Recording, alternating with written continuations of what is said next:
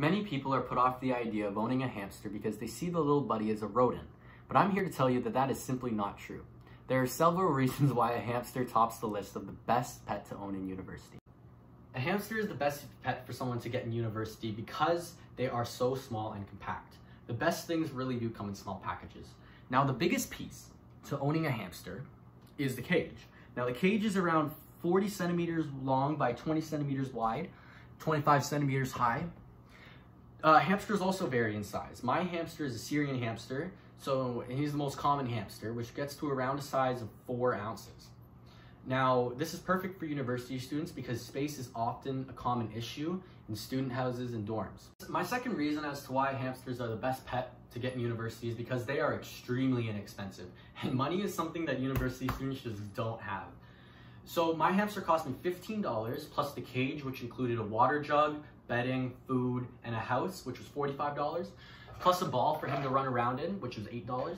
So 60, $63 for a fluffy buddy is not a bad deal compared to the hundreds and if not thousands of dollars that go into adopting a cat or a dog and keeping them healthy. The third reason as to why hamsters are the best pet to get in university is because they don't require round-the-clock care. They're intuitively independent.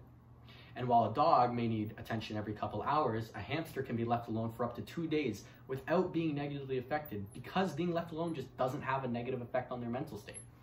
Now this is ideal for students because we're always busy with school.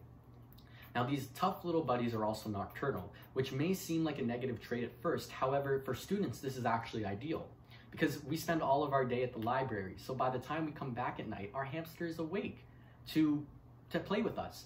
And then when we wake up early in the morning for class, our hamster is also awake still so that we're able to spend time with them. Finally, hamsters are extremely clean creatures.